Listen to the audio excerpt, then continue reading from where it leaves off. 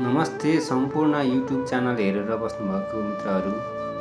आज म तपाईँहरू समक्ष इटालीको सुन्दर रमणीय दृश्य लिएर आएको छु।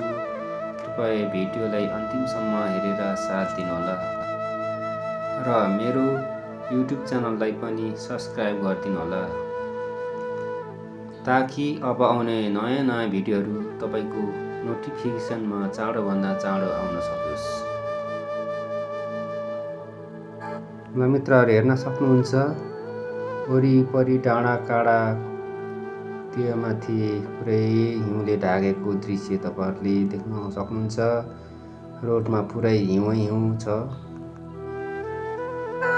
मौसम अहिले हिउँ पर्ने रहेको छ इटालीमा। इटालीमा चाहिँ एकदमै चिसो छ पाँच छ डिग्रीको टेम्परेचर छ अहिले। जाडो छ। धेरै नै जाडो भन्नुपर्छ यो नेपालको हालतमा।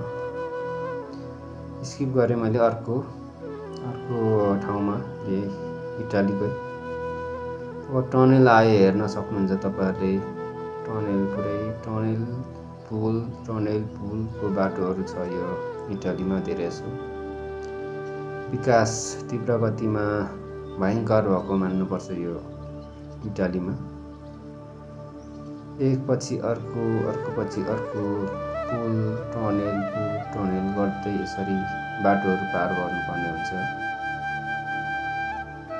यो उकालो भन्ने छँदै छैन यो देशको रोडहरू। पुरै वारपार काहीँ चाहिँ ब्रिज लाएर त काहीँ चाहिँ टनेल बनाएर सिधा स्ट्रेट बाटो रोड बनाएको छ।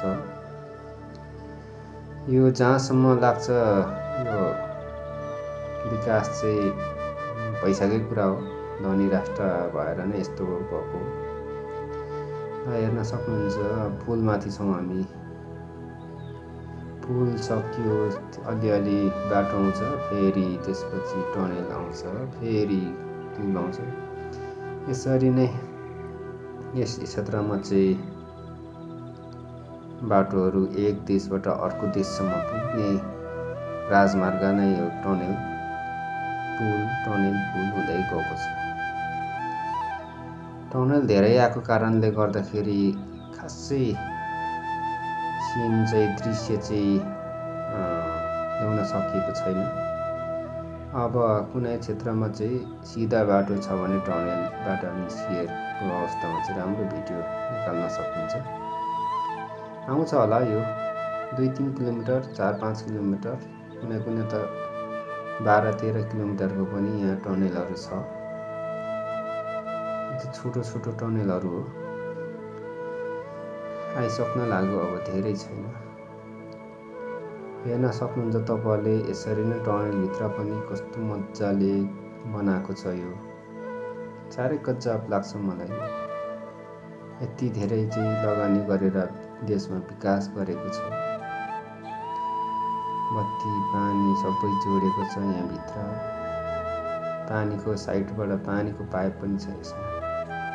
एक ठाउँबाट अर्को ठाउँमा लाने चाहिँ विद्युत पानी त्यसपछि अन्डरग्राउन्ड टनेल यसरी नै बनाइएको छ देशले विकास राम्रो गरेको छ इटालीमा।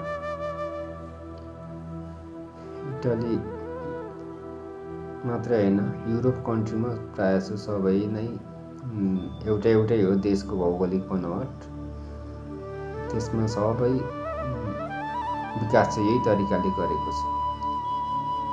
वास्तवमा भन्नुपर्दाखेरि यहाँको भौगोलिक चाहिँ नेपालसँग मिल्दोजुल्दो छ। केही फरक छैन डाँडा काँडा भिर हिमाल तराई सबै मिस मिसट छ यसमा। मिश्रित पनि। हिमाल पहाड तराई मिश्रित। भौगोलिक बनावट हो यो। कुनै ठाउँमा जाडो छ कुनै ठाउँमा चिसो छ कुनै ठाउँमा माइनस डिग्रीसम्म हुन्छ अहिले। यसरी छ ल फेरि टनेल आइगयो। अगाडिको दृश्य अलिअलि देखिँदै थियो फेरि टनेल आयो। टु वे बाटोहरू छ कतिपय कुनै कुनै बेला चाहिँ गाडीहरू वाने पठाउँछ यो। बाटो बिग्रेको अवस्थामा चाहिँ टनेलभित्र पनि उहाँले बना उहाँले पुग्छ कुनै कुनै बेलामा। तिन लेनको वान बाटो हो यो अर्को तिन लेनको टनेल दायाँ बायाँ हुन्छ यो त्यसमा प्रायः दुईवटा टनेल हुन्छ एउटा रोडमा। दायाँबाट जाने र बायाँबाट जाने। यसरी छ। तपाईँहरूले देख्नु भएको होला। देखिराख्नु भएको छ नेपालमा यस्तो टनेल छैन। अहिले अब यो थानकोट निकाल्ने सुरुङ मार्ग फास्ट ट्र्याक भन्ने छ। त्यो अब कहिले सुचारू हुन्छ कहिले पुरा गर्छ त्यो थाहा छैन। ल हेर्नुहोस्। टनेल सक्यो पुल माथि माथि डाँडा काँडा हेर्नुहोस् त नेपालको जस्तै। कति आनन्दको हाम्रो गाउँघरको जस्तै छोटो छोटो होचो होचो खालको पाहाड छ त्यहाँ भित्ता। यो सम्झिँदाखेरि देख्दाखेरि हाम्रै नेपालको जस्तो याद आउँछ मलाई। फेरि टनेल आयो।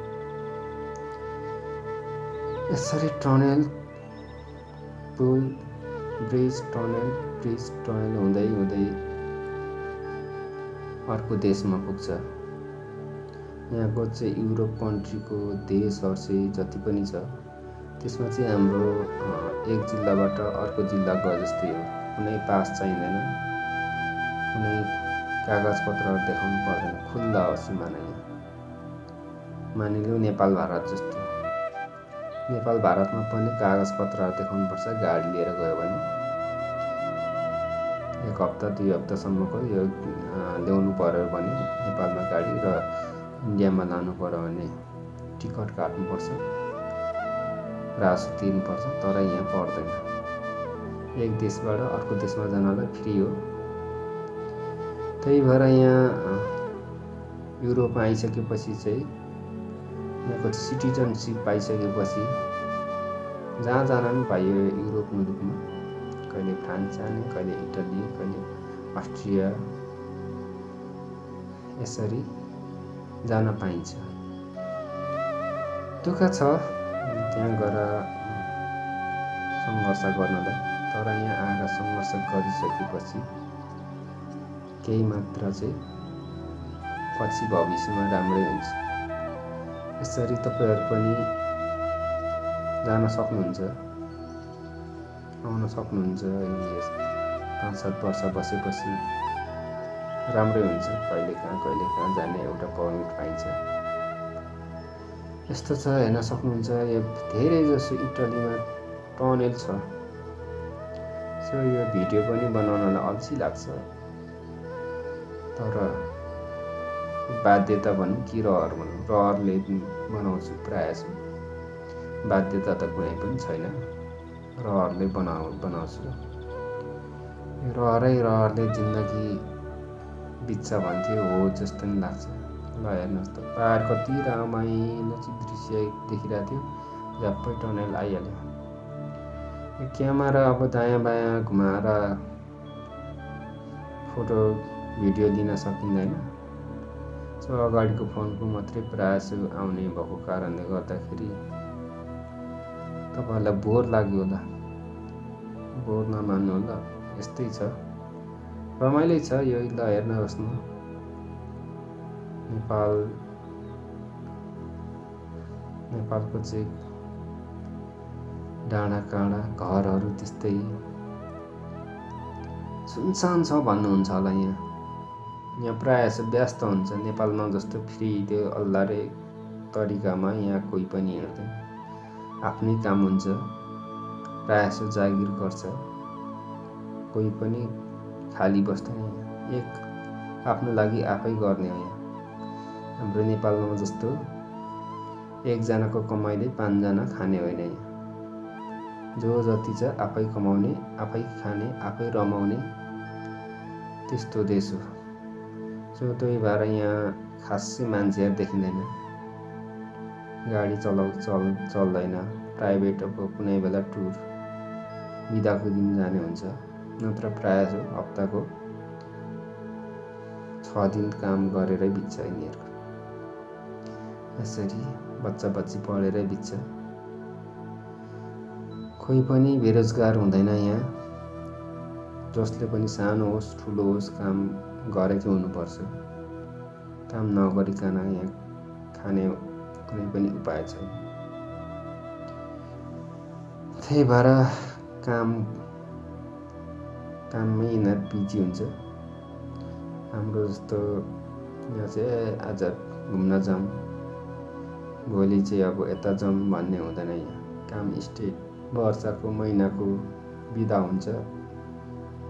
वार्षिक बिदा। त्यो बिदामा चाहिँ लङ टुर जाने हो।